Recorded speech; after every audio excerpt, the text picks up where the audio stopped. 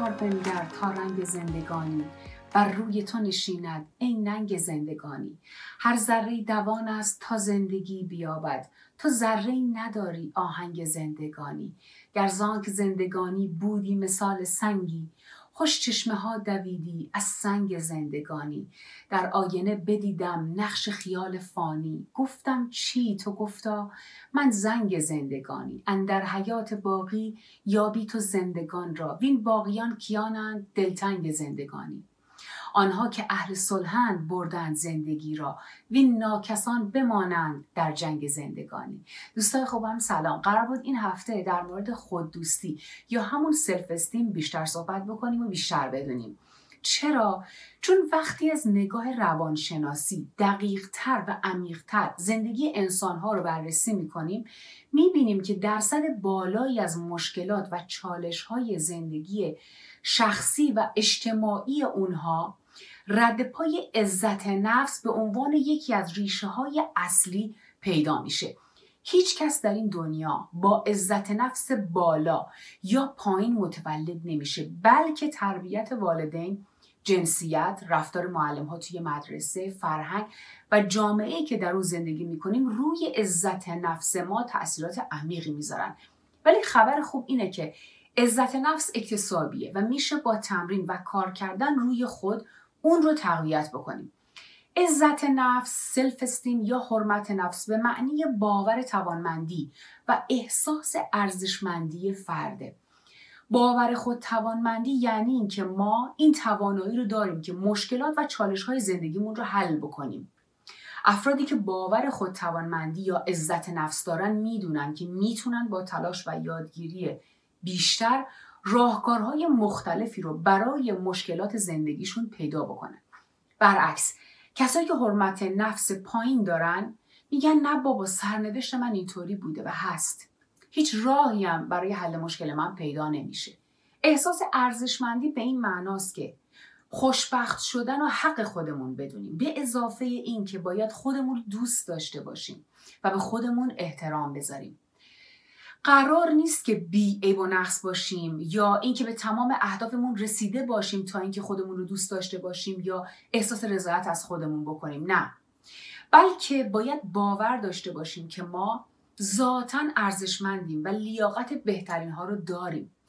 عزت نفس یا سلف استیم هیچ ربطی به غرور یا تکبر نداره. وقتی از عزت نفس صحبت می‌کنیم یعنی خودمون. فارق از دیگران احساس خودتوانمندی داریم و خودمون رو شایسته بهترین ها می‌دونیم. در حالی که غرور و تکبر در رابطه با دیگران مطرح میشه و فرد سعی داره خلا و کمبودی رو در مقایسه با دیگری مخفی بکنه. ضعف در عزت نفس بر روی رشد و موفقیت کاری و تحصیلی تاثیر می‌ذاره و می‌تونه آسیب های جدی رو روی روابط عاطفی ما وارد بکنه. به طور مثال افرادی که عزت نفس سالم و کافی ندارن خودشون رو شایسته موفقیت های شغلی نمی‌دونن. در نتیجه کارهایی رو انجام میدن که این باور محقق بشه که من لیاقت این جایگاه رو ندارم. یا توی روابط عاطفی کسی که باور داره لایق خوشبختی و یه زندگی شاد نیست زمانی که مورد محبت و ابراز علاقه همسرش قرار می‌گیره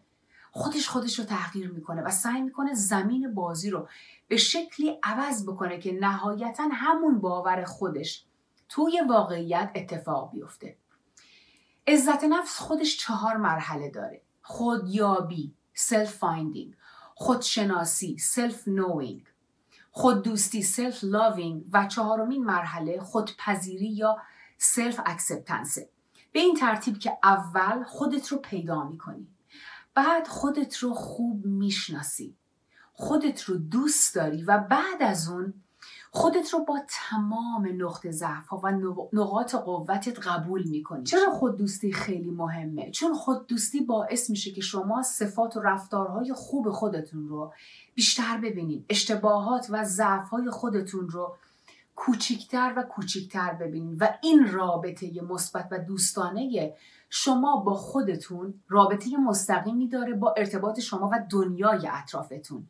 چون باعث میشه که شما خوبی ها و زیبایی های جهانی که توش زندگی می‌کنید انسان هایی که باهاشون در ارتباط هستین رو واضحتر و بهتر ببینید و همونطور که هستن اونها رو بپذیرید.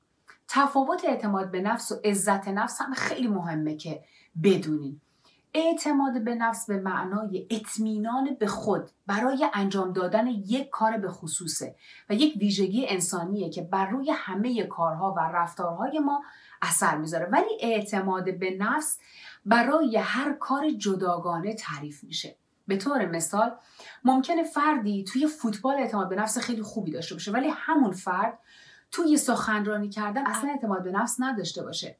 اما فردی که عزت نفس داره احساس توانمندی برای یادگیری فوتوفنهای سخنرانی رو توی خودش احساس می‌کنه و می‌دونه که با تمرین کردن می‌تونه به یک سخنران خوب تبدیل بشه. اگه دقت کرده باشیم می‌بینیم که تا به این قسمت از برنامه یکی از مهمترین نکته هایی که مولانا همیشه در اکثر اشعارش روش تاکید داره همین موضوع خودشناسی و خوددوستیه.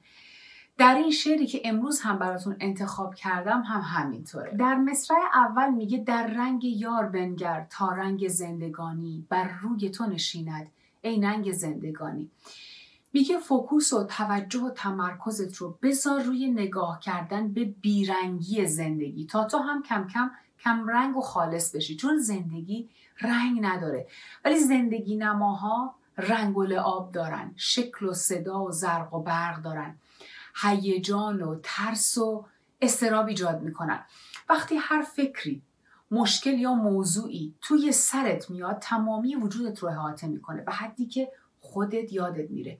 چون با اون فکر هم هویت میشی. مثلا اگر با همسرت با فرزندت توی محل کارت اختلاف نظر پیدا می‌کنی تمام فکر و انرژی و توجه و حواس تو دائم صرف اونا میشه درست میگم. پس خودتو دیگه احساس نمی‌کنی. مولانا میگه سعی کن از چسبیدن و ریویو کردن خاطرات گذشته باورهایی که در مورد خودت داشتی قضاوتهایی که شدی اگه دیگران تاییدت نکردن از همه اینا دست بکشی و نگاهت رو از بیرون برگردونی به سمت خودت و به درون نگاه بکنی. این هستی این زندگی شادی و عشق از طریق تو می‌خواد نمایان بشه. اگه بخوای به اونها بچسبین اتفاقات نمیافته.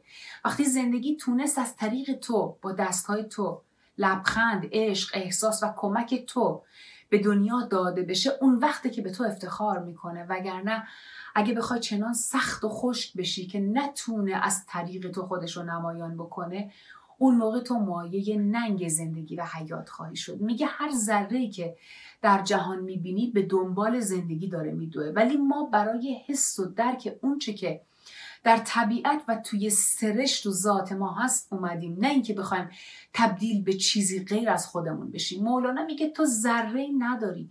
تو خود زندگی و عشق هستی. فقط کافیه چیزهایی که توهمیان و زندگی نما هستن رو به خودت نبندی و اجازه بدی که زندگی از تو جاری بشه. چون افکار، هیجانات، باورهامون هر روز که میگذره ما رو تبدیل به سنگ می‌کنه سخت و زمختمون می‌کنه و دیگه چیزی از لطافت و انرژی در ما باقی نمیمونه. میگه اگه بخوای می‌تونی از مخمسه ایگو و من ذهن در بیایی می‌تونی خودتو دوست داشته باشی. اشتباهات خودتو دیگران رو ببخشی و رهاشون بکنی. اینو مهمه بدونیم که هر چقدر هم تا به حال زندگی سنگمون کرده باز هم ته وجودمون عشق و زندگی هست که فقط باید تکون بخوره به لرزه در بیاد. اینجا مولانا یه مثال قشنگی می‌زنه. میگه مثل چشمه ای که از دل یک سنگ بیرون می‌زنه و جاری میشه باید باشی. در آینه بدیدم نقش خیال فانی. گفتم چی تو گفتا؟ من زنگ زندگانی. میگه با آینه نگاه کردم و خودم و اشکال زیادی رو توش دیدم. هویت های من ترس ها و خشم های من حسادت ها امیال آرزوها و باورهای من. همه اینها رو تو آینه دیدم که ازشم پرسیدم که تو چی هستی؟ گفت تمام اینهایی که می‌بینی از من نیست. اینها زنگ زندگیه نه خود زندگی. یعنی فیک و دروغیه. در حقیقت زنگار یا چرکیه که روی آینه رو گرفته وگرنه خود آینه که یک شیء مرموزیه که هیچ تصویری توش وجود نداره. پشتش هم خالیه. آینه فقط انعکاس دهنده هر چیزی که روبروش قرار می‌گیره. مولانا میگه در حیات باقی یا زندگی حقیقی که تو زنده های واقعی رو می‌بینی وگرنه بقیه توی حسرت و توهم زندگی هن. خیال می‌کنن زندن جسمن زندن ولی روحی ندارن. روحشون سالهاست که مرده. میگه زمانی که توی صلح با خودت و با دنیا بمونی تمام شرایط و اتفاقات زندگیت رو بپذیری و قبول بکنی و توی لحظه حال زندگی بکنی اون موقع است که رشد می‌کنی و برنده این زندگی هستی. در غیر این صورت دیگه زندگی نمی کنی چون همیشه توی ستیزه و حسادت و افسردگی و ترس و رنج و اثبات خودت به مردم باقی میمونی و کسی به حساب نمیای. ناکسن یعنی اصلا به حساب نمیان هر وقت متوجه شدی که حالت خوب نیست افکارتو از بیرون جمع کن و سریع بیار توی بدنت و با کمال تعجب می‌بینی که یکی از قسمت های بدنت مثل عضله های ابرو، گردن، شکم، دست یا پا. خیلی از جاهای دیگه بدنت منقبض و سفت شده. همینو که بفهمی خودتو از اون انقباز رها بکنی و توجهتو بیاری روی تنفست و توی زمان حال ساکن بشی. نه تو گذشته و نه تو آینده بمونی. این یعنی که تونستی هوشیاری تو از ذهنت پس بگیری. این عمل باید برای تو به عنوان یه عادت در بیاد. تو هر کسی که هستی تو هر خانواده که متولد شدی با هر مذهبی نژادی زبانی جنسیت یا سنی توی هر شهر یا منطقه اینو بدون که با تمامی کارهایی که تا به حال کردی و تصمیمهایی که برای زندگیت گرفتی چه تاییدت کرده باشن یا چه نه خودت رو سرزنش بکنی یا نه تو الان توی بالاترین و بهترین مرحله تکامل روحی و رشد معنوی ایستادی. از این بهتر هم خواهی شد چون تمام تلاش تو کردی و به اینجایی که هستی رسیدی. پس خودت رو لایق بهترین ها بدون.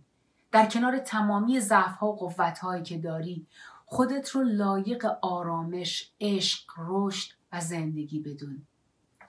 با آرزوی لحظاتی پر از آرامش برای شما. همتون رو به خدای بزرگ میسپارم. خدا نگهدار.